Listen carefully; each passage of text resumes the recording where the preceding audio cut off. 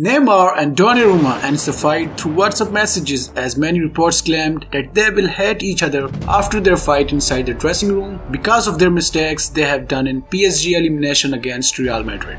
But Neymar and Donnarumma turned the table around.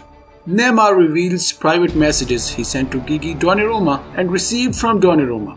As you can see, Donnarumma wrote by highlighting a link, Hey sorry about yesterday. This news is unacceptable. And Neymar responded, Mate, it's okay, it can happen in football. We are a team and we are with you. You are still very young and you have already achieved so much. Stand up and keep going. A hug. But they could not deny that they had an argument in the dressing room. Neymar was shouting at Donnarumma for his mistake in first Madrid's goal and Donnarumma responded angrily by pointing out Neymar's losing possession in the second Real Madrid's goal. That's what happened.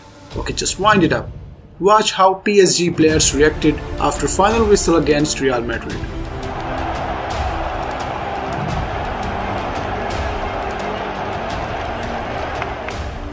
Subscribe to the channel for more football news. It's football news.